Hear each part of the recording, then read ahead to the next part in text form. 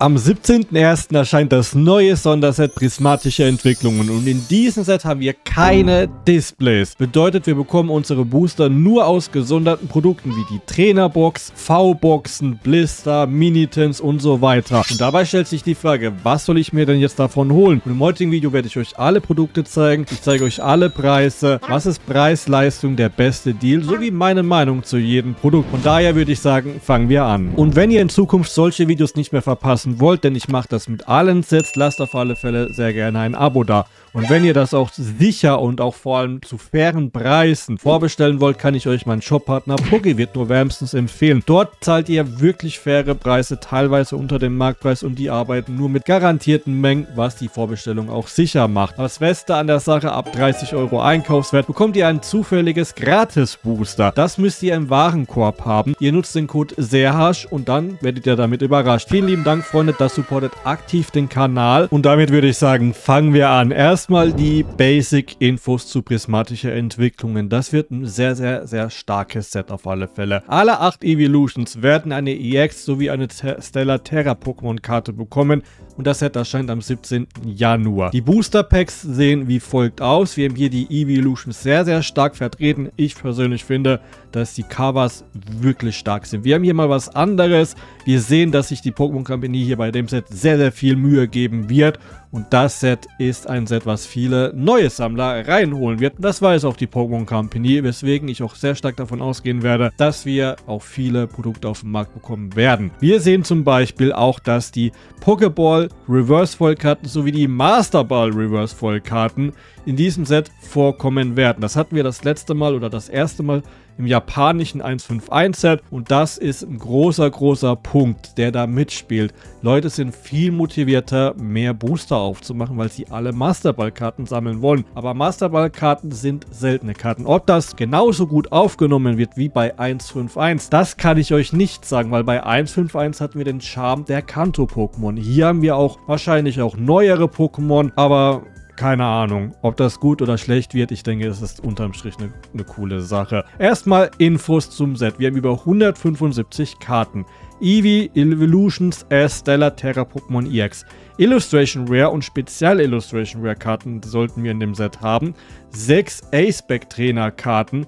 10 EX sowie 15 Terra EX Karten. 12 Ultra Rare Supporter Karten.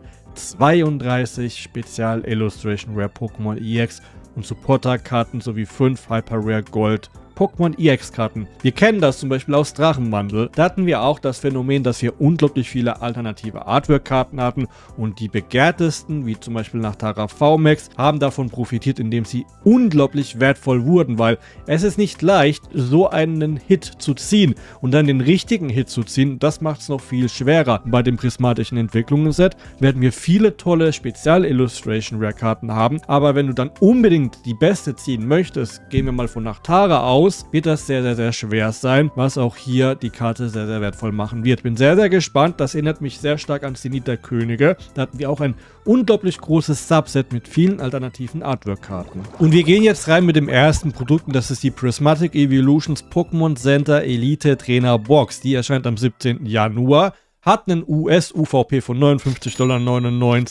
und der große Haken an der Sache, diese Box gibt es halt nur in United Kingdom, in Amerika oder in Kanada im Pokémon Center. Wir haben hier einen neuen Booster drin, das ist so aufgebaut, ist ein bisschen anders vom Design und wir sehen hier gleich, wir haben hier zwei Promokarten. Einmal das normale Evoli, einmal die Pokémon Center Evoli Version und hier nochmal im Detail, wir haben dann hier in der Mitte bei der zweiten Karte den Stamp und bei der anderen Karte haben wir keinen Stamp. Das macht die Box so viel wertvoller, weil sie erstmal limitierter ist im Center und sie nur dort erhältlich ist zu einem UVP-Preis. Und wenn wir die kaufen wollen, werden wir wahrscheinlich mindestens dreistellig zahlen. Also 100 Euro aufwärts. Wenn wir mit 100 Euro rechnen, zahlen wir hier pro Booster 11 Euro und das ist halt zum Aufmachen keine Option. Weswegen ich sie jetzt hier in eine Tierliste packe. S ist das Beste, D ist das Schlechteste, B ist die goldene Mitte. Und zum Aufmachen ist die Centerbox schlecht weil wir sie hier herschiffen müssen über einen Proxy-Account und viel zu viel zahlen. Aber für den Investmentfaktor ist das mit Abstand nicht das Beste, das will ich noch gar nicht mal in den Raum werfen, aber eins der interessanteren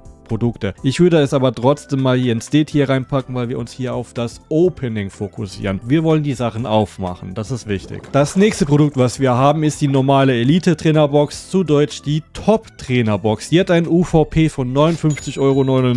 Wir haben hier neun Booster enthalten und die sieht rein optisch genauso aus wie die Center Box. Das ist sehr, sehr schade, dass wir hier leider keine unterschiedlichen Designs haben. Das ist so das gängigste Produkt bei einem Sonderset. Wir sehen auch hier bei den Produktbildern einen klaren Unterschied. Wir haben hier links zwei Booster weniger. Keine Sorge, Freunde, wir haben hier trotzdem eine Promokarte dabei, auch wenn sie jetzt hier mal nicht abgebildet ist, weil sie ist hier oben rechts abgebildet.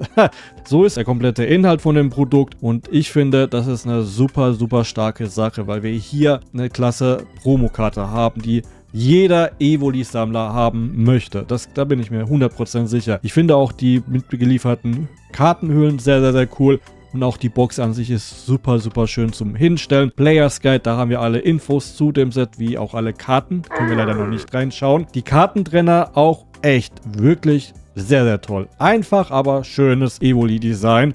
Und nochmal die andere Seite der Kartentrenner, die Würfel Evoli Braun und einmal so ein Kristall, was zu dem Typ Terra-Kristall, der auch ganz gut passt. Die Trainerbox ist ein wirklich schönes Item zum Hinstellen, ist ein tolles Item zum Aufmachen, wenn ich das ranken würde. Wir zahlen hier, wenn wir da jetzt mit dem UVP rechnen, das ist sehr, sehr wichtig, Freunde, 6,70 Euro pro Booster. Wir bekommen das aber auch unter dem UVP, das habe ich euch am Anfang ja schon mal angeteasert. Ich würde sagen, das hier ist auf alle Fälle schon mal ein A-Tier-Produkt. Wenn nicht sogar ein S-Tier, ich würde es aber erstmal ins A-Tier reinpacken. S-Tier hier halte ich mir noch frei. Da haben wir auch andere Produkte, aber ist sehr, sehr stark. Das nächste prismatische Entwicklungsprodukt ist die Binder Collection, zu Deutsch die Ordner-Kollektion. Wir haben hier ein UVP von 39,99 Euro und das ist ein Produkt, das sage ich euch schon mal voraus, das holst du dir einmal. Wir haben hier fünf Booster drin, wie man unschwer erkennen kann und einmal im Hintergrund den Ordner. Und ich finde, das ist eine wirklich feine Sache, dass die Pokémon Company so ein Produkt raushaut. Wir haben hier auch ganz filigran die ganzen Eevee-Entwicklungen im Hintergrund.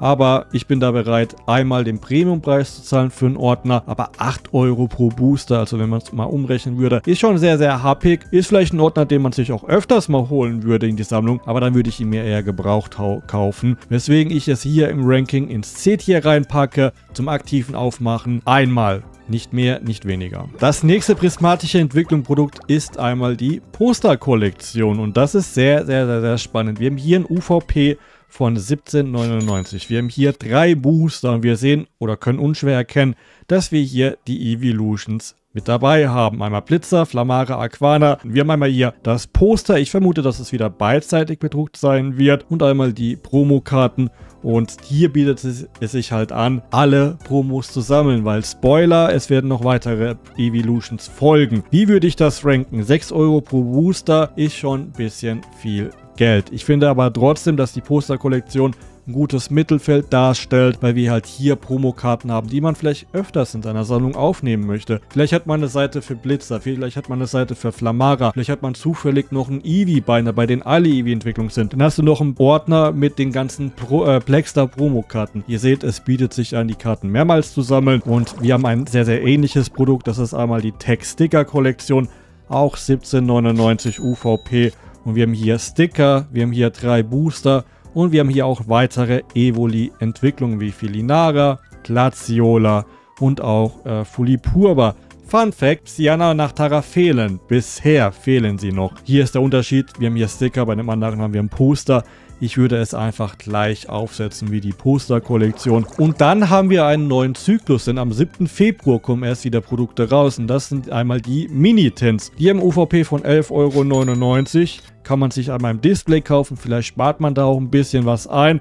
Ansonsten schauen die so aus und wir haben hier halt ein gesamtes Artwork was ich persönlich immer sehr, sehr, sehr klasse finde. Und für jede Eevee-Entwicklung haben wir hier auch ein Minitin-Artwork. Fun Fact, jede Eevee-Evolution sitzt auf einem Stein, der eigentlich den Entwicklungsstein darstellen soll. Ich habe mich ein bisschen kleine Erinnerung, aber finde ich ist eine feine Sache. Wir zahlen hier 6 Euro pro Booster, ist schon ein bisschen happig. Wir bekommen zwar auch noch eine Evoli-Münze und auch nochmal ein Infoblatt zu der jeweiligen Eevee-Entwicklung, die abgebildet ist, aber 6 Euro pro Booster, das nimmt sich nicht viel von denen hier und sie haben noch einen Nachteil, dadurch, dass Booster in einem Minitin-Pack drin sind, können die eingedrückt werden. Das haben wir halt bei den zwei hier nicht. Ich würde sie aber hier trotzdem mal ins B hier reinranken. Ich generell sehe ich die hier alle gleich. Wobei, ich würde sie ein bisschen schlechter ranken, weil das hier sind Promokarten, die ich wirklich sehr, sehr gerne mehrmals in meiner Sammlung habe. Und hier haben wir halt keine schöne Promokarte. Aber zahlen den gleichen Preis pro Booster. Und jetzt wird es sehr, sehr spannend. Denn am 7. Februar erscheint auch die prismatische Entwicklung Surprise Box. Und dazu gibt es noch nicht viele Infos. Wir wissen zum Beispiel,